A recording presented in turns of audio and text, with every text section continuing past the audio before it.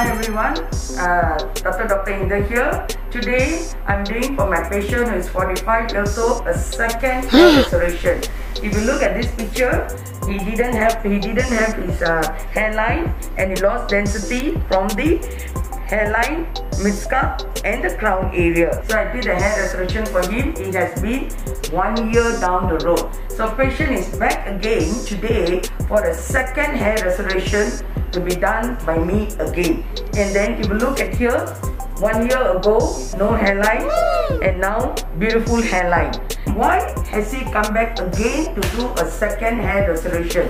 The patient has come back because aesthetically he want a better look. So I created a new hairline for him.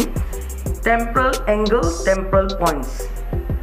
So this will aesthetically him a more youthful look. And of course to create more density at the crown area if you look down in this area the last time I just uh, planted very few grafts so patient is so happy with his results and his confidence level has gone up and everybody says looking so good that he wants to come and get it better. He wants things that he want he want more hair basically. And then I suggested a more aesthetic look for him and fill up density also putting in the hairline in the mid scalp and of course you will look at the crown area so again a second hair transplant which going to be conservative because it's got a good donor who knows in future he may come back for the next hair transplant so thank you everyone and I would like to thank my patient because he, he has chosen the same doctor to do his first hair restoration. He's so happy with Dr. Inder and her team to do this hair restoration